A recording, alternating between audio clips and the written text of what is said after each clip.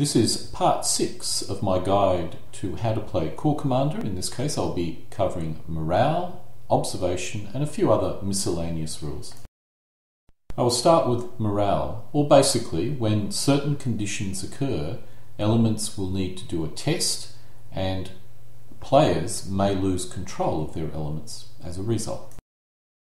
The morale rules cover the occasions where an element's cohesion is lost, when, in the face of apparent death or destruction, the troops panic attempt to, and attempt to escape from the enemy.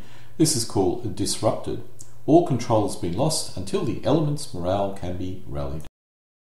Disruption is caused when an element loses a close combat or when it fails a morale test.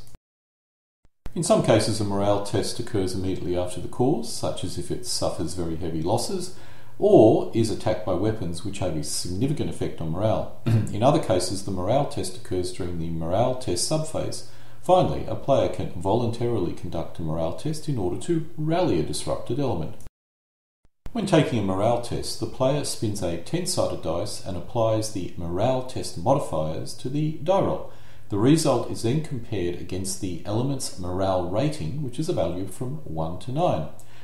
The results are rally or no effect, dispersed and retreat, disrupted and retreat, or surrender. Apart from the initial rout move of 6 centimeters, a disrupted element must rout or retreat towards cover during each rout move subphase. Cover is defined as city, town, village, heavy woods, forest, jungle, or broken terrain. In this case, a rout move is an element's maximum movement allowance. We will now cover observation or how to calculate the distance you can sight an enemy element. In order to conduct most forms of fire combat against an enemy element, it must be observed, or if conducting area fire or interdiction fire, the fall of shot must be observed. The only case where fire combat can occur without observing the enemy element or fall of shot is counter battery fire. The observation rules are based on two factors the base observation range of the element being observed and an observation modifier, which is multiplied by the base observation range to arrive at the range an element can be observed in centimetres. A clear line of sight must also exist between the two elements. A number of exceptions may occur due to lighting conditions, weather conditions, and terrain. The first step is to determine the base observation range. This is dependent on the enemy type and its mode, or if towed artillery, if it's limbered or unlimbered. Artillery base observation range can also be affected by its caliber. Each element is classed as a vehicle, artillery, or infantry. Artillery which is being towed is classed as a vehicle, which includes being towed by horses. Mounted infantry is classed as a vehicle, which includes being carried by horses or other animals.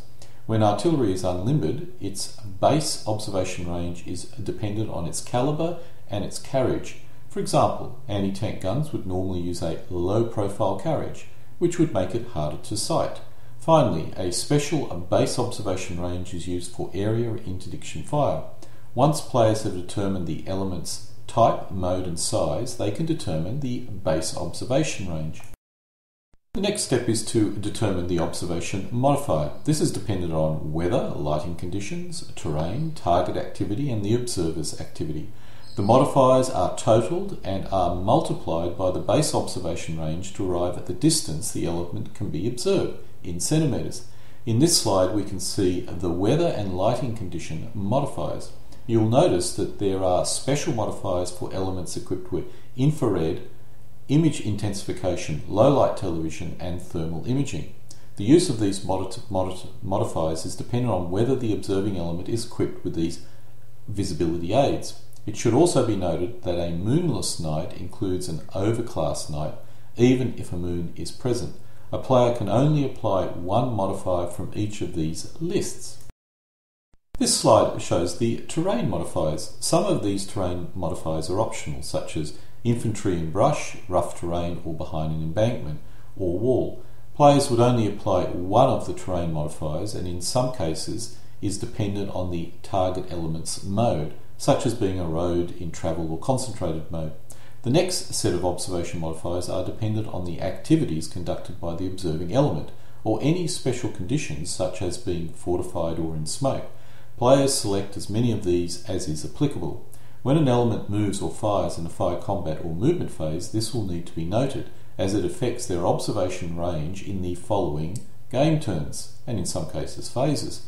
If an element did not fire in the previous game turn but fires in the current fire subphase, it does not count as being having fired. This is because the observation determination is conducted at the beginning of the subphase.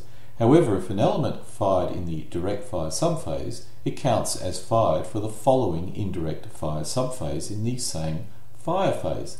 This means a concealed element which fires in a direct fire subphase can be fired upon with indirect fire in the immediately following indirect fire subphase. The final set of modifiers are dependent on the observing element's previous activities or current mode or elevation. The observing player uses as many modifiers which are applicable from this list. In this example, the M901 is attempting to observe the T62 which moved in its last movement phase. It is daylight and visibility is good, which means there is no rain, snow, or other weather conditions which affect visibility. The T62 base observation range is 8 centimetres. There is a plus 1 modifier because the T62 is moving, and a plus 4 modifier because it's good visibility, resulting in a final observation modifier of plus 5. This is multiplied by the base observation range of 8 centimetres to arrive at 40 centimetres. The T62 is visible up to 40 centimeters, which means it is, it is visible in this case. The M901 now determines if it can sight the 25mm M40, which fired at it in the last game turn. The 25mm anti-aircraft gun has a base observation range of 3 centimeters. The observation modifiers are plus 2 because the 25mm anti-aircraft gun fired and a plus 4 because it's good visibility, for a total observation modifier of plus 6. This results in an observation range of 18 centimetres, which means the 25mm anti-aircraft gun is not visible. The M901 can see the line of fire and can call in unobserved indirect fire on the M25, the 25mm anti-aircraft gun during the indirect fire subphase, but it cannot conduct a direct fire against it. There are a number of special observation cases which are covered in this slide. If the weather condition is fog, you can only observe an enemy element if adjacent, unless you are equipped with thermal imaging. If both elements are within town, city, forest, or jungle terrain, they can only observe each other if adjacent. If both elements are in smoke, broken, open woods, or heavy wood terrain, they can only observe each other if within 2 centimetres.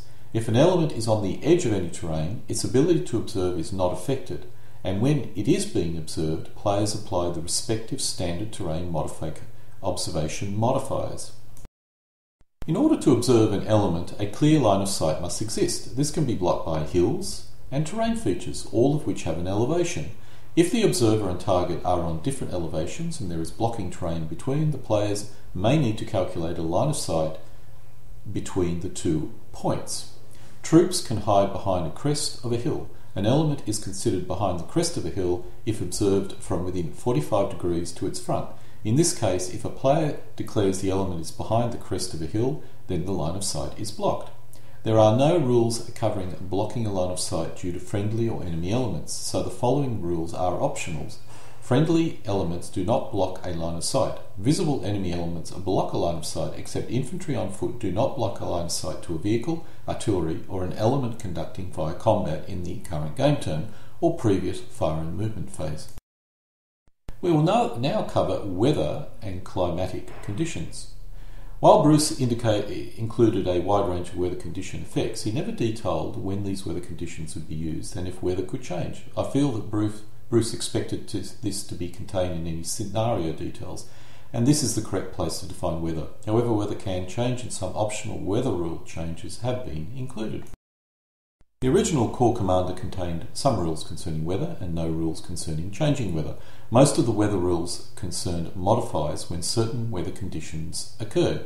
It was assumed weather conditions and weather change details would be contained in the scenario guidelines. The weather types listed here is fog, heat haze, and dust storm. In all cases, these weather conditions affect observation, and in the case of dust storms, can also affect movement and close assault. The weather types listed in this video or slide include rain, heavy rain or tropical storm, snow and heavy snow or blizzard. These weather conditions all affect observation and for some weather types could affect close assault. If some of the weather conditions continue long enough, it would affect the terrain, which has an effect on movement. No rules for how these weather conditions occur or if they could change during the game are provided. The weather change rules listed in the training videos are all optional. Any weather change is determined in the weather change determination subphase, which occurs during the initiative phase. It is based on the unmodified initiative die roll of the attacker. If the attacker spins a 10, weather can improve, as this also means the attacker will have a high initiative. It's an overall good result for that player. If the attacker spins a 1, the weather can deteriorate, as this also means the attacker will have a low initiative. This is an overall bad result for that player. This can be modified based on the climatic region or season the game is being fought in. So, in an Arctic climatic region during winter, the, change, the chance of weather deteriorating is increased. Finally, what the weather will becomes when it deteriorates is also determined by the climatic region and season.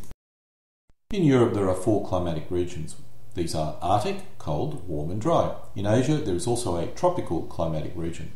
The type of weather possible is dependent on climatic regions, so a blizzard cannot occur in a dry climatic region and a dust storm cannot occur in an Arctic climatic region. There are four seasons spring, summer, autumn, and winter. The exception is the tropical climatic region, where there is only a wet season and dry season. The seasons also affect the weather available, so a blizzard will not occur in summer and a tropical storm will not occur during the dry season. This shows the three weather change paths, which are snow, rain, and heat haze. In most cases, during winter, snow will occur, and during summer, rain will occur. During autumn or spring, either rain or snow could occur, depending on climatic conditions or a die roll. If in tropical climatic regions, snow cannot occur and the occurrence of rain will increase during wet season. If it's Arctic, rain cannot occur and the occurrence of snow will increase. If it's the desert, heat haze and dust storms will occur instead of rain or snow. The climatic region and season will also affect when dusk and dawn occurs. This means the number of daylight game turns will vary, and because night game turns span 120 minutes, the total number of game turns will also vary. It's often simpler to keep all game turn lengths to 60 minutes and simply skip all even numbered night game turns. Before a game begins, both players will need to define the climatic region, season, and any starting weather. This would normally be contained in any scenario details, but if playing a generic scenario, players may still need to decide this. Any weather changes determined using the optional weather change rules. Fog is the only weather condition which needs to be specially determined. Players will need to determine if it occurs and its duration. It has a major effect on the game, so players will need to consider when and how to use this very carefully. Players will also need to determine if the night has a move, moon, has no moon, or is overcast. Fighting at night, while a valid ta- tactic, will exhaust your tro- troops before the end of the day. If fighting a scenario where one player is the attacker for the entire day, this may be viable as the attacker will have sufficient forces to allow part of his army to rest. But in a scenario where one player attacks and the other counterattacks, the attacker is asking for trouble if he starts the game at night. In this section, we'll be generally covering terrain, more of an overview.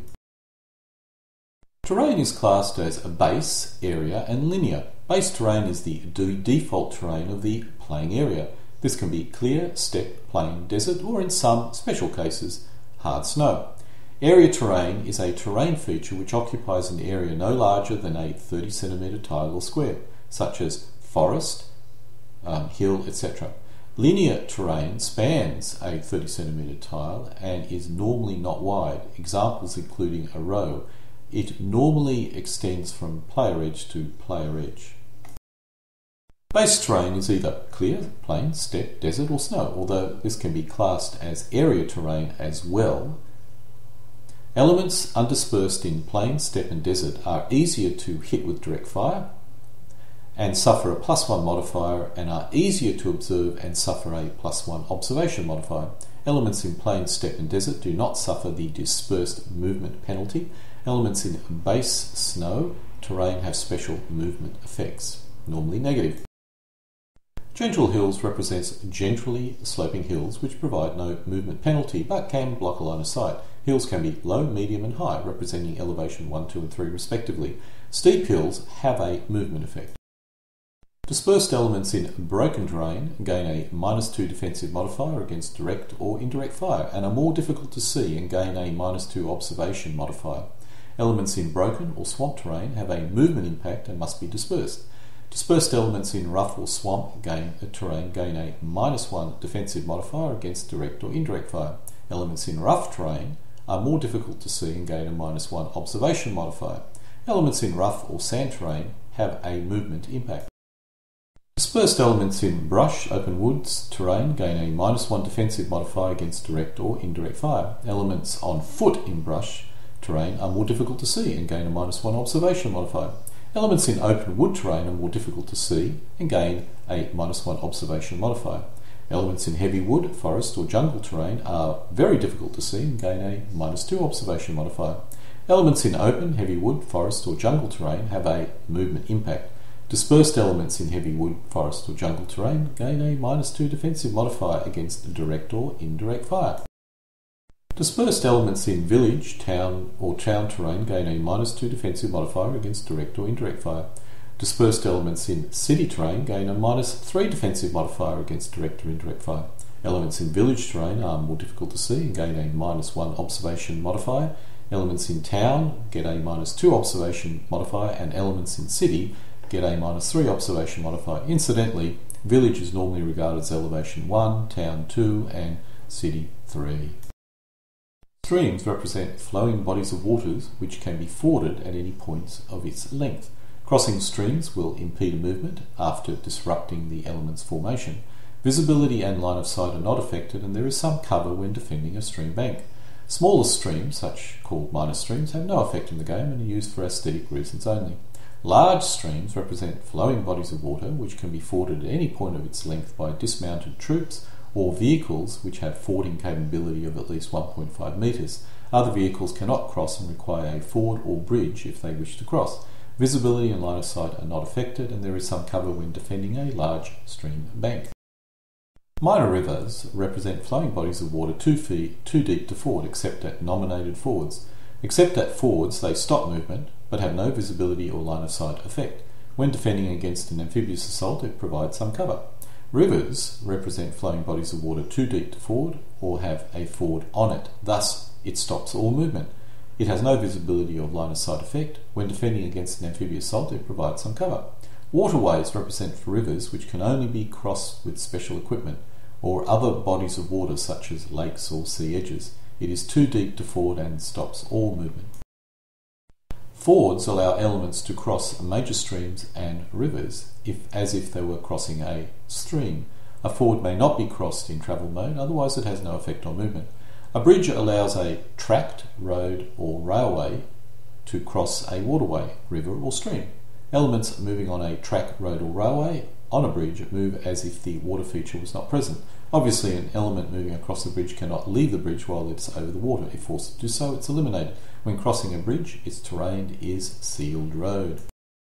Tracks are unsealed paths which allow the movement of foot wheeled track vehicles through difficult terrain. Foot and animals can move along tracks unimpeded, however, other vehicles move over as if it's clear terrain. It has no effect on visibility, line of sight, and offers no cover.